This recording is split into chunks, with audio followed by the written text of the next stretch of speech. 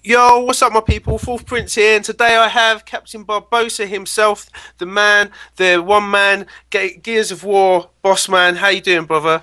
I'm doing all right. Just a little snowed in at my friend's house, so I got plenty of time to do this interview. Kind of excited, making these international connections. It's always fun. Yeah, indeed, indeed, indeed. It's a pleasure to have you on here as well. Um, yeah, just thank you very much. Thanks for the to the gear from the Gears of War community, really as well. If it wasn't for you, I don't think we've ever had a Hypefestation or anything like that. So it's just amazing to uh, have an interview with you, to be honest. No problem. Um, yeah. And uh, obviously, Hypefestation Winter Brawl is coming soon. So, what are the dates for the Hypefestation Winter Brawl? Winter Brawl 8 is going to be on February 21st to the 23rd. Uh, what's going to be fun about it is on Friday, it's going to be like our warm up fun show match day. Uh, Saturday, we're going to get down to business and do most of our tournament, and on Sunday, we'll be able to fool around again, and then we're going to do an amazing show for our grand finals. Excellent, excellent. I can't wait as well. And um, do you have you have is it full teams at the moment already, or is there places? We are almost full right now with our, our registration. Uh, I'm not exactly sure what the Eventbrite is saying about pending transactions, so I think we're waiting for payments to go through. But right now, I have ten full teams, and we just need four more. Wow, excellent! So it's going to be like a a, a hype event. yes. Fun. Yes. yeah.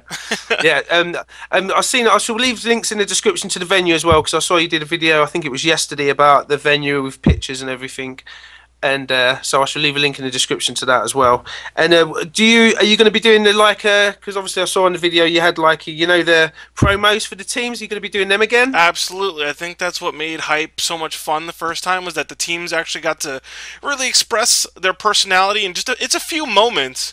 But it's a big few moments to be on display in front of the community with those slow motion intros. So I also think that's one of our trademarks. So I definitely want to do that again. Yeah, that was they were absolutely amazing. I kind of uh, I sometimes uh, just have seen them from lots and lots of times, and it's it's really good. Uh, do you know? Are you allowed to say what teams are going, or have you got a kind of keep under wraps at the moment? No, I'd rather tell people what teams are going so they get hyped and get the rest of these teams in here. Uh, I got this document in front of me. First one to sign up, and big shout out to them was PR and the Funky Bunch. Then followed by Notorious, Locks, Worst Behavior, Thrillco, Resilience, Eternal, and Click. Those are the ones I have registered right now. Sweet. And I know there's a couple on the way. Excellent, excellent. So, because uh, I've been listening to Brutality's channel as well, and um, she's been speaking to your Fallouts and Strangulate and Chubs and stuff like that. So it's going to be. I can't wait to be honest. I'm really, uh, I'm really stoked and excited. So, so yeah. Um, have you got a lot of people helping you? Do you need to give out any shout outs or anything to people who are helping you out on the yeah, um, the, uh, station? the core pre-production team. Uh, a really big help has been Chubs. Chubs has been really ambitious and He's been my main player consultant. Uh, Waldo from GearsCon helped out a lot with the marketing and sales and roping in sponsors. Then I had Venom come in. He has some software called Scrimfinder that he wanted to be part of this. So we're going to have cool. Joe Crudy and him talk. And then Joe Crudy from Revolution Gaming has been a huge help. It's actually. Uh, I had some of my gear, and he's got a lot of gear, but he actually said, you know what, I'm going to take care of all of it. Don't worry about it, Barbosa. So, uh, Joe Crudy, aka Ruthless, coming in really big for the Gears community. And um, Krills has been helping out here and there, but he's been playing so much Sweet. that he disappeared. so that's, that's been my main group.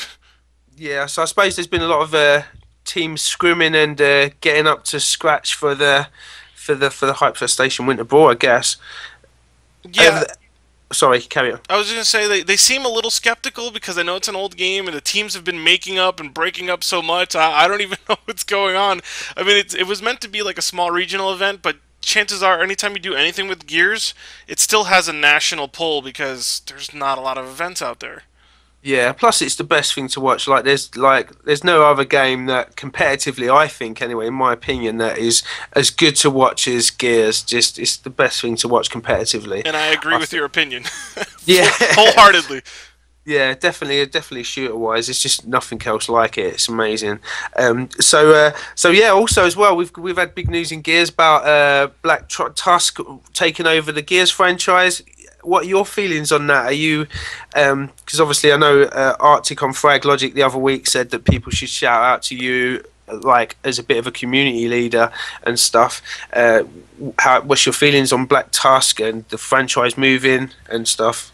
I think it's good because with Microsoft making that huge move, buying the whole intellectual property and franchise, they're it, it they're not going to do one game with with an IP that big. There's there's definitely more games on the way. You know, Yep. th- we're looking at at least another six to eight years worth of Gears content. If it doesn't flop, that's that's Yep. it. If it does good, Yeah. and uh, I, I've been actually extending my, my contacts and my networking because I know Black Tusk is going to have a brand new team, and I'm looking at it like, hey, I'm single. I'm I have no family. If they needed help with the community or some insight, whatever the case may be, um, I can up and leave wherever I am and go help them out if that's the case. If not, I'll just stay here. I'll keep the Hypefestation community close, and uh, maybe we can consult from a distance of what we want to see in multiplayer. There's a lot of options and I'm really excited because if they do integrate with community or they do reach out I'm really excited because then the community and, and the developers will work together like and, and, and just create a really decent game I'm, Yeah. I'm excited about yeah. this Yeah, no, I, I, I mean that as well. I think, I think everyone in the community would, if there was anyone working on our side uh, as a community, uh, you would definitely be number one because we all know that you have competitive in mind and at heart all the time. So that would be, hopefully, man, hopefully, hopefully they scoop you up, man. You, Rod, over there at Black Tusk, living in Vancouver. You have to get used to the snow, though, brother. uh, I know I know I, I'll, I'll adjust it's, I'm doing Yeah. something I love I'll adjust but again that that's far-fetched I don't even know if Yep. that's the case I also want to I'm going to blatantly discredit myself and say I'm not amazing at the game, but I know what the game needs in terms of features and Yep. and presentation, and to make it more spectatable and make it easier for other people to compete. So that insight is where I think I'd be most valuable. Exactly, I think that's what we need as well. I'm no, um, I'm no Gears god by any means at all, but I think that's what the game needs: just someone who knows what's going on and someone who has that competitive background, not just uh, organising events, but knows all the teams. It's like you know, you that go-to person. And like I said, it, if it wasn't for you, I don't know what the Gears would have done uh, in Gears Three because you know MLG didn't pick it up and no one else picked it up. And if it wasn't for Hypefestation, I think Hypefestation one and two were just absolutely amazing. So, so just yeah, that would be yeah. We need someone like you over there, really, just for the community. And I think everyone trusts you in the community and knows you in the community as well. So that would be perfect, really. I, I try my best not to have anything go wrong, as in uh, in terms of trust. You know, I don't want to. I don't want to miss anyone's money that they're owed. I don't want to miss anyone's information that they're lacking. Uh, everybody reaches out to me on Twitter if they can, or emails or whatever. I try to get back to everyone. It's not like I just kind of fluff people off. I'm too busy. I try to get to everyone. Yeah, no, which is amazing as well. Like just having you on my channel has been just like the shock of it is amazing to me, and anyone who knows me as a, a Gears head will know this is a a moment. So yeah, and uh, yeah, man. Well, I kind of think. That's it. Obviously, we've got Gears of War, uh, Gears of War Judgment as well. I saw a video which I will leave a link in the description of your on talking about the things that you liked about Gears of War Judgment. Obviously, Gears of War Judgment really struggled with the community, and in more ways than one, as we both know. But uh, I, like you, feel that there's a lot of things that Judgment can bring to the table, and a lot of things that should be forgotten about. So, is like you said about Overrun and stuff. I love Overrun. I thought Overrun. What I what I look in Overrun when I look at it, I see more potential. Because granted, it's a great mode standalone, but there's so much more that they could have done with it. And Yep. and with the addition of the extra hardware and the power that's in Xbox One, you know, a simple spectator mode or just being able to look at it from a distance and and watch different meta strategies with pushes and and different Locust compositions and then different cog compositions, like there was a lot of depth in that game type. It just wasn't unlocked to its full potential. Definitely, definitely, and uh, obviously, I kind of there's a lot of things I I know there's a lot of things the community don't like, but obviously, like the movement in the multiplayer. Obviously, we you know we all know the problems of Gears of War Judgment, but I do Yeah. think there's there's a few things that we can take from Judgment going into the next Gears of War, and obviously, uh, having people like you on side and uh, other people in the community is going to be a great help. So yeah, yeah, The most I would love to see come from Judgment would be uh, it had a lot of weapons and there's a lot of diversity with the weapons in gameplay. And I mean, right now the community isn't embracing diversity because of balancing issues. and that's Yep. the main excuse. But you know, if they can really balance those guns, I'd love to see diverse gameplay with you know famous hammer bursters and and better. Well, not Lancer. The Lancer's been around, but you know, Marks Markza shooters and stuff.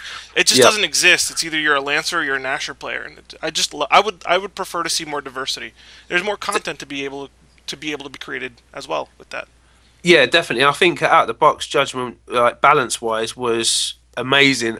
Obviously, out of the box, I think it's the best one we've had, like balance wise, definitely. And uh, some of the new weapons, the Breechshot, just wicked. I'm not rubbish with it, but awesome cut. And the marks as well. I know a lot of people don't really like the Markza, but I kind of I like the Markza. I think it is a pretty good, well balanced gun. So, so yeah, things like that definitely will be good. And Booshka, and uh, obviously keep the digger around and things like that. Would be Yeah. epic. Epic, epic. Well, yo, anyway, I think that's about it. But Hypefestation is the 21st to the 23rd of February. Um, I will leave as many links in the description. Will it be streamed as well? Um, will it be a Twitch Absolutely. link? Twitch TV slash Hypefestation. And what's nice is I'm talking to Twitch, and they're going to partner us before the event so that uh, it helps us out, and they'll be front paging us as well because they want to support this community.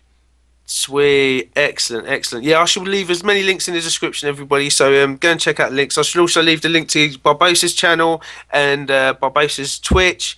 And uh, anything else you want me to leave down there, brother? Uh, no, just make sure that the Hypefestation website is there and uh, the Twitter for Hypefestation. That's more important than me. I'd Cool. rather see the community and the company do better. I just kind of fool around on my stuff. Yeah, and that's hypefestation.com as well, isn't it? Yes, it is. Excellent. Okay then. Uh, so yeah, everybody. Uh, um, yo, that's Fourth Prince and Captain Barbosa out. Oh. You doing? Are you doing my Captain Barbosa out? yeah, no, trying to. You, do you want to do say the goodbye to everyone? All right. Well, how, how, how about I, I'll do a sign out. All right, ladies and gentlemen, this is Fourth Prince and Captain Barbosa out.